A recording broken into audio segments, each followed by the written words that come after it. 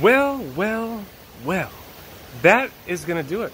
We've sadly come to the end of this adventure, of this episode of this vlog thing.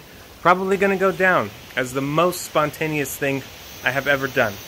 Uh, connected with some strangers who I have never met before a couple weeks ago and hitched a ride with them to Costa Rica. But sadly, this is the end. This is where I like to leave you with my, my two cents, a few a few of my uh, my words of wisdom that I may impart upon you. Do with them what you may.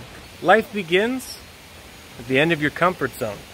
You know me by now, very uncomfortable in public situations, isolated, introverted, lone wolf, in the cave, underground. Yet here we are. Here we are, decided to go out on the limb. Go out on a huge limb well outside my comfort zone, repelling waterfalls, ziplining through the canopy, going on incredible vista hikes where a monsoon torrential downpour took place on the way back down.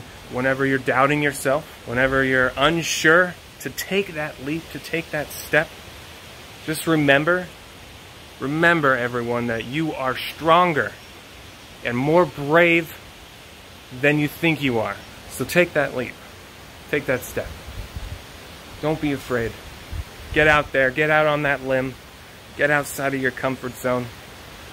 And uh, it's going to trail into our final thought here, big local saying, pura vida, around here in Costa Rica.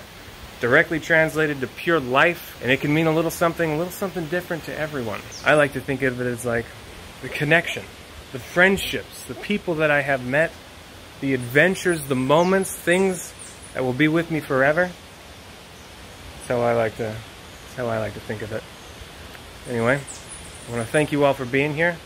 Thank you for joining me on this extra long adventure. I apologize that it was a little longer than the usual ones.